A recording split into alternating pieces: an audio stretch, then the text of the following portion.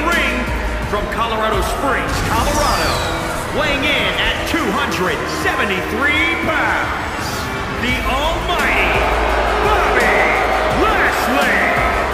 Bobby Lashley might just be the strongest powerhouse to step foot in a WWE ring. Just look at the sheer size of him. An amazing physique, strength. And incredible strength is just part of what makes him the almighty. Lashley also has impressive speed and agility for a big man. He is absolutely the complete athletic package.